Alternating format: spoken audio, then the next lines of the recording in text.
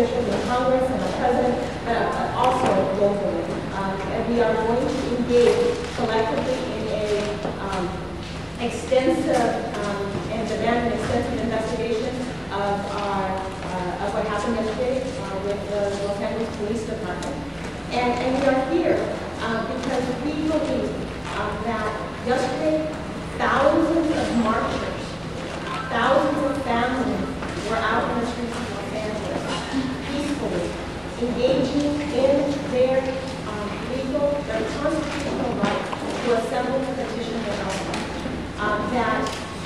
in majority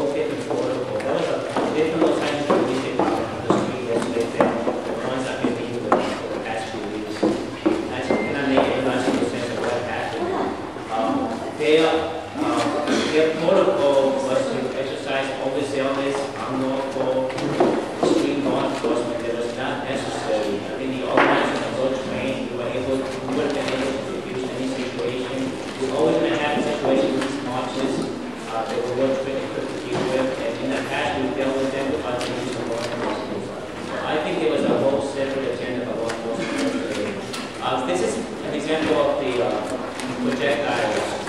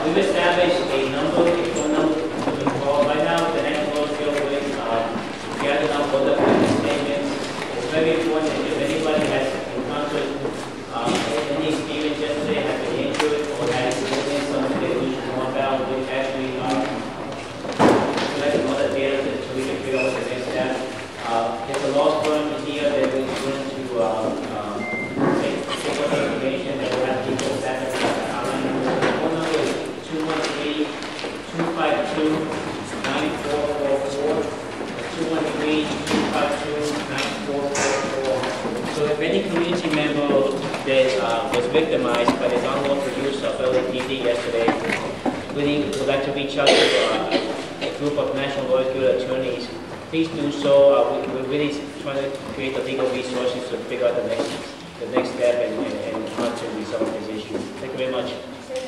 Sí, yo, yo soy Víctor del Gremio Nacional de Abogados aquí en Los Ángeles. Tenemos un, un número telefónico que hemos establecido para la gente, las personas de comunidad que, que sufrió, que fueron víctimas sobre el abuso de la policía ayer. Y el número de teléfono es 213-252-9444, 213-252-9444. Entonces es muy importante que, que nos llamen, Ah, estamos tomando todos los datos, todos los casos, porque estamos planificando el próximo paso legal de este asunto. Gracias. Next speaker is Mayalena Durazo. She's Executive Treasurer with the Los Angeles County Federation representing over 300 unions in Los Angeles County, from teachers to construction workers and janitors. I'm here to reaffirm labor's commitment to change the broken immigration laws in this country. They are bad and they hurt both immigrant workers and native-born American workers. Yesterday, the Los Angeles labor movement took part in the May Day March for fair and just immigration reform. We were involved and will continue to be involved because we believe that everyone who works hard in America should have the opportunity for a good job, support a family, affordable health care, and a secure retirement without fear of being separated from their families. The labor movement feels that yesterday's police actions were excessive. They caused a sad ending to a day of peaceful, nonviolent actions by a very strong uh, uh, community. The labor movement will continue to stand with all fighting for immigration reform, and we will also take part in the investigation of the police actions and behaviors in every way that is helpful. Uh, I uh, spoke personally with Mayor Villaraigosa yesterday in El Salvador. He gives me, his, gives us his assurances that there will be a fair investigation. We, however, believe that this kind of conduct should not in any way ever happen again in the great city of angels. Uh, this was not something that we are proud of. Uh, this is what was reflected across the country instead of what accurately happened, which was tens of thousands of immigrants, families, and native-born workers standing together. Uh, we believe that institutional changes, or strong changes in the policies of the department will be required to make sure that our communities are protected and not the victims of police behavior. Thank you very much. Por parte del movimiento sindical, ah, que representamos 300 sindicatos, nos quedamos firmemente comprometidos a cambiar las leyes de inmigración en este país. Lo hacemos por, por el bien de los trabajadores inmigrantes, pero también por el bien de todos los trabajadores nacidos aquí. Estamos comprometidos a seguir esa lucha para cambiar las leyes. También estamos comprometidos a estar al lado de nuestros compañeros en esta coalición para ayudar en la investigación. El alcalde de Aragosta nos ha dado su ah, promesa de que va a haber una investigación justa. Pero nosotros queremos también que al participar en esta investigación, que queremos soluciones permanentes para que jamás esto suceda. Esto ha quedado, ha dejado Los Ángeles ah, en, en mala percepción en el país creemos que esto nunca, nunca debe de volver a suceder. Gracias. Our next speaker is Angela Sanbrano, the Executive Director of CARECEN and the Central American Research Center. Good afternoon. The, it's pretty clear by the statements that you heard that the lack of total disregard for public safety by the police started before the march. The fact that they uh, refused to give the permit to close the streets in Vermont and to give us false uh, promises is an indication that they were not serious about protecting the safety of, of our uh, community. The police were not prepared to ensure, not only were they not prepared to ensure the safety of the people, on the contrary, they were prepared to attack the people. We saw with our own eyes how the motorcycles of the police attacked the children, elderly people that were basically uh, caring for their, their, their children. And um, it is, it's a total disregard of the safety of our community. The behavior of the police is not acceptable. We demand answers. We demand a full investigation. We demand that the police commission, Chief Bratton, Mayor Antonio Villaraigosa, and City Council answers fully to the community and that they change the policies that send the wrong message to the entire world.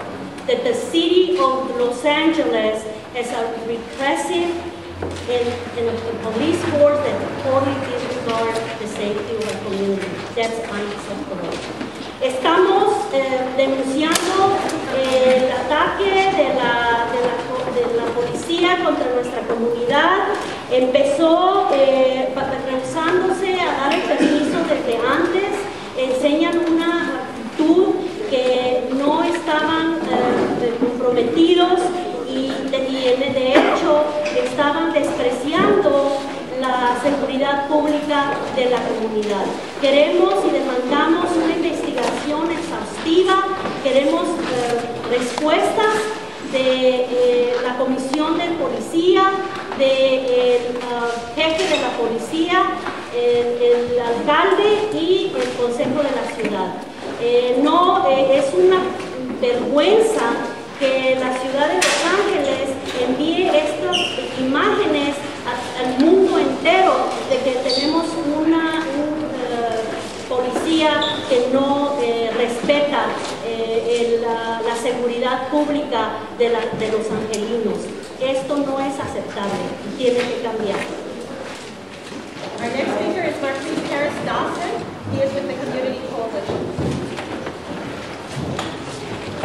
Again, my name is Marquise Harris Dawson. I'm the director of the Community Coalition in South Los Angeles. And as an organization of 4,000 members who are residents in South LA, we are proud to stand in solidarity with the immigrant rights movement here in Los Angeles and the labor movement. Stand up for justice uh, for all people who live and work in the United States, regardless of documentation status. Uh, A couple things about yesterday. One, uh, there's always the attempt to divide the African American community and the immigrant rights community uh, over the issue of jobs. And at the Community Coalition, we make a strong point and are resolute in our notion that everybody who works in this country or lives in this country deserves to be treated like a human being, and we're going to stand and fight with anybody who's down with that struggle.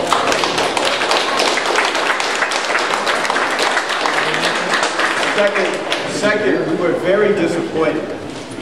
15 years and one day after the civil unrest here in Los Angeles, where this city burned because of Los Angeles Police Department's open disregard for human life and public safety, that we would see another demonstration uh, again uh, after we had spent so much time healing from that process, that we would see the Los Angeles Police Department engage in such reckless disregard for human life and human safety uh, here in Los Angeles. Uh, personally, as a community coalition, we brought a couple dozen uh, young people, children, to the march so they could witness history here in their city. Uh, on the way out from the march, they were encouraged to run in one direction by LAPD officers, where we ran directly into Los Angeles County Sheriff's uh, officers who were brandishing automatic weapons. And so, as you can imagine, young people still have not recovered from that psychologically. Uh, frankly, I'm having trouble recovering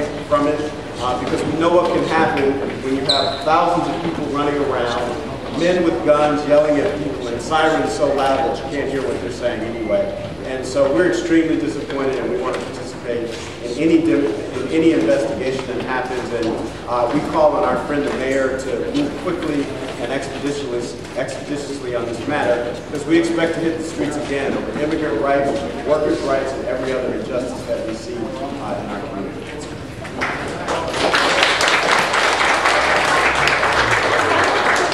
is Father Luis Nieto, who is going to be joined by Father Richard Estrada.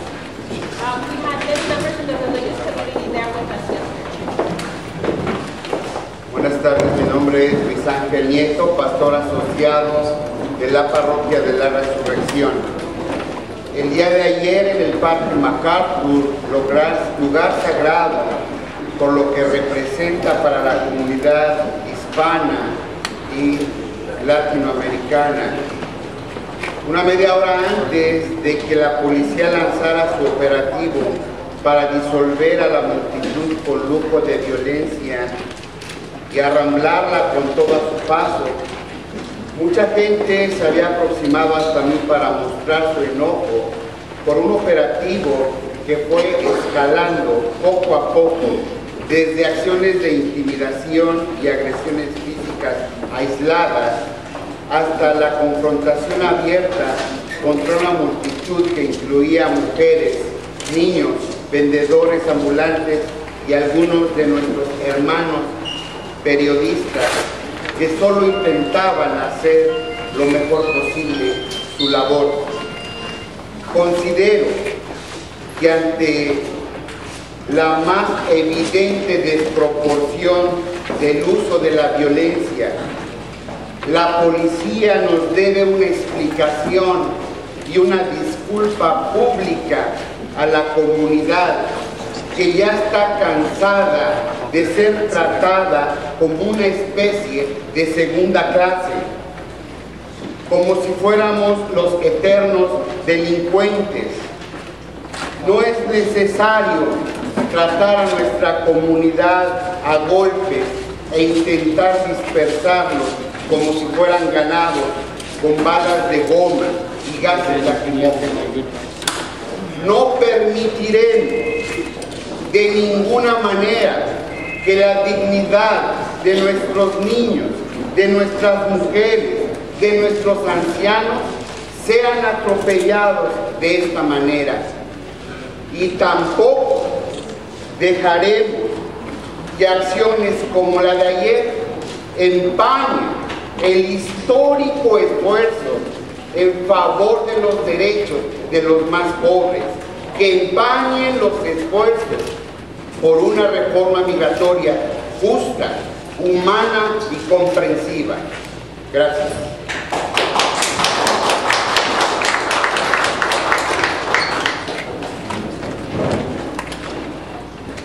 My name is Father Richard Estrada.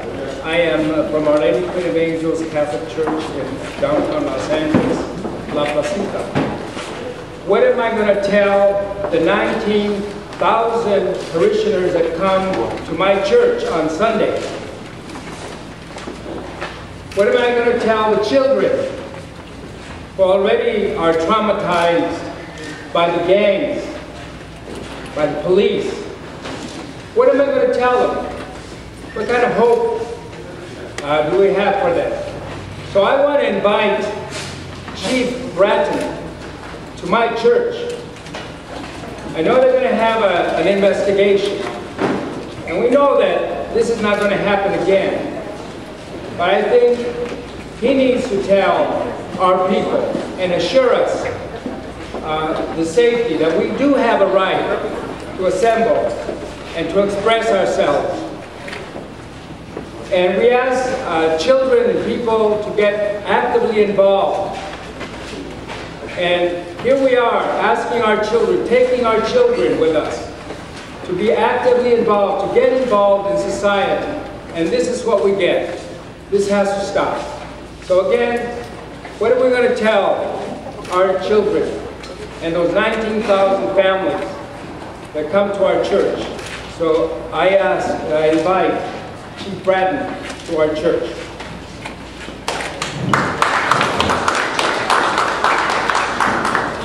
That concludes our uh, panel of speakers. I, I just want to tell you a couple of things. All of the mem all of the individuals behind us are organization, are representatives of organizations that were participating or organizing yesterday's march.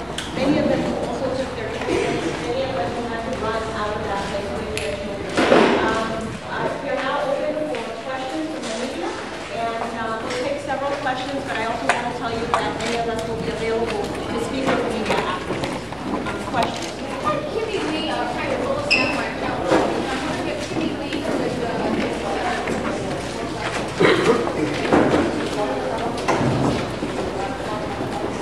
Miss Lee, for those of us who were not here yesterday, can you take us back to that point, uh, describe what was happening just before you began hearing the gunfire? Describe to us what you remember, what you saw, what you heard. First, what was happening before that all Sure. So actually, the day started around two o'clock when people started to come into the park, and so people were just kind of picnicking, eating their lunches, talking to each other. And then around four is when the marchers started to come in, and the, the area started getting more crowded and more crowded. Then about 4:30 or 5, there was a group that was marching on the streets outside, and you could see that they had um, they were having some confrontation with the police on the outside of the park, but in the inside of the park was still there was music going on, there were speakers, we had children, um, you know, making art, we were you know lion dancers were happening. It was just a very general, it was more festive thing happening.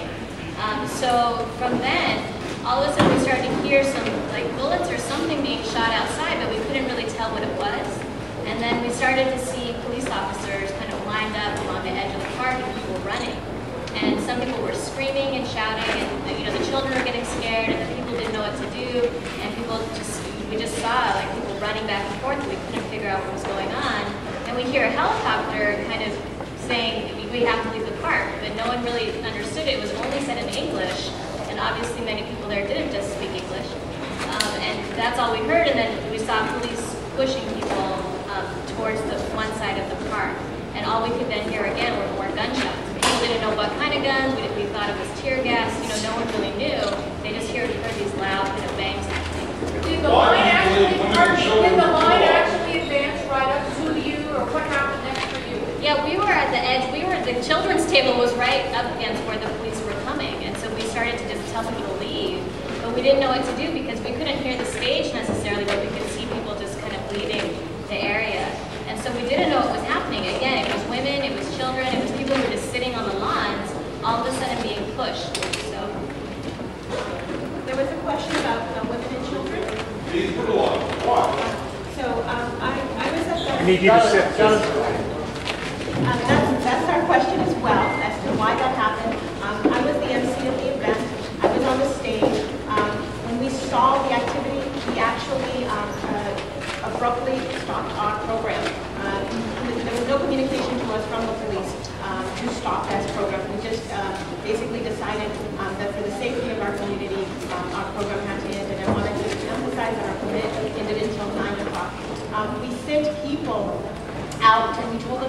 go out and protect you, and um, six, um, because there was, there was obviously something wrong. I saw with my own eyes um, women running with their children, uh, when rubber bullets were going. Um, I was in the center because I realized that the people in the middle were not hearing um, either the stage or weren't recognizing they were focused on the media tent. And I saw women and children there. They started um, shooting those rubber bullets. I covered a woman with um, was incredibly scared. And I saw, um, I just saw so many women and, and men picking up their kids, running out of there, um, not knowing what to do, and there was no warning. Why is the police saying that the permit was until 6 o'clock? And I asked the police chief last night. If the permit was until 6 o'clock, how can you expect thousands of people to leave a big area at 6 o'clock sharp? And then they say that there was no permit to be on the street? Okay, so the first one is that we have worked with the police. Um, this is for weeks and weeks and weeks, and they were very aware. And we marched on the sidewalk. We, this could, is something that we worked out with them.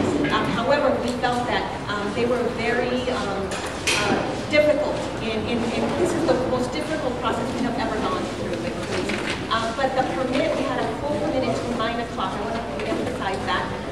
This Sangu, uh, we had that permit we want to say is the organizers voluntarily shut down the program um, even before there was any kind of uh, communication from helicopters from the police uh, because we did not, we cared about the public safety of our community and tried and, and really believed um, that things were going to escalate even more.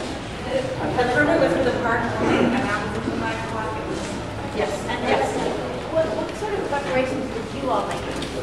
Um, we have done these uh, events many times. So we have trained security guards and security people. Um, many of them were wearing um, um, bands. In fact, many of our security were really in the front lines trying to um, both, I, I think it was mediate between the police and between uh, police provocateurs. We um, have organizing meetings with security guards. We have an extensive amount of experience doing this.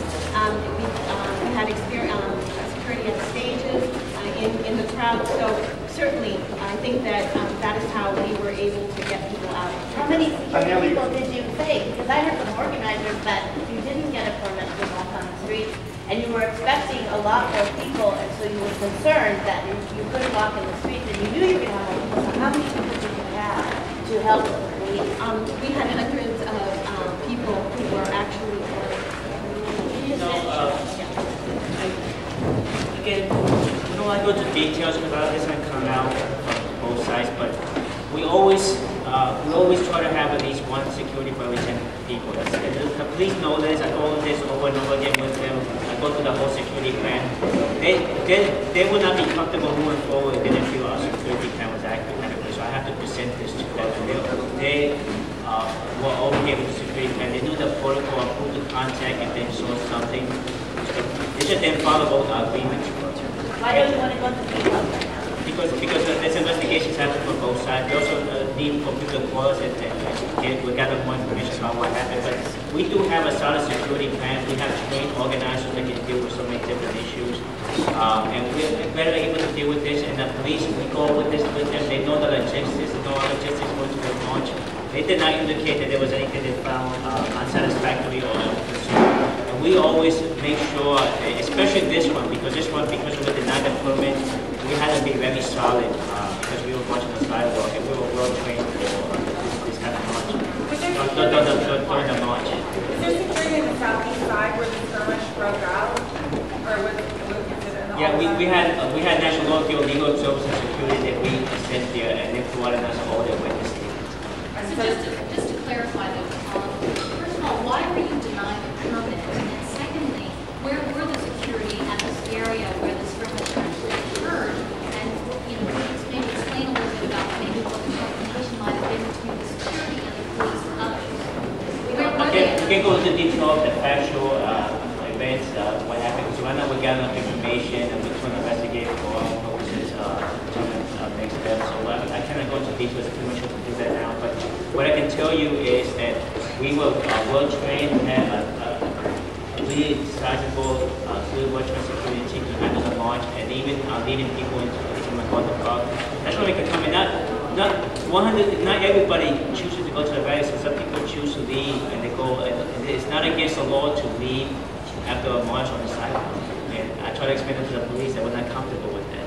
And so, you know, I think, I think, I think they had, it, it was, I want to say, it was not the same, that was not the same LAPD on the street than the group that was meeting with us throughout this whole process. The Los Angeles Police uh, Commission, you would need to talk about what they did that.